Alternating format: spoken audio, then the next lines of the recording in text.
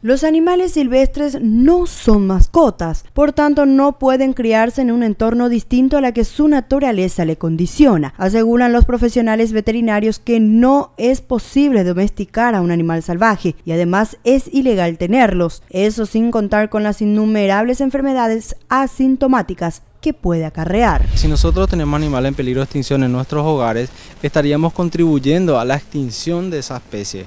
Por más que amemos a ese animal, no tendría una pareja o no tendría las condiciones necesarias para reproducirse y poder sobrevivir y estaríamos colaborando con el tráfico de animales. Eso es en primer lugar. En segundo lugar, no es recomendable tener primates, los monos, porque las personas generalmente le atan con cintos por la cintura.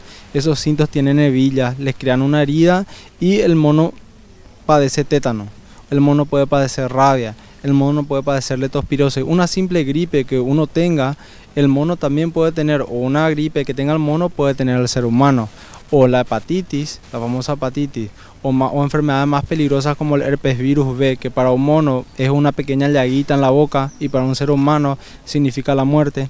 Entonces es bastante peligroso tener estos tipos de, animales. Especialmente, doctor, si se tienen niños también en la Por supuesto, imagínate la meningitis causada por los cocobacilos, tenemos las micosis sistémicas que pueden causar que muchos monos son portadores. Con una mala dieta se nos muere un papagayo.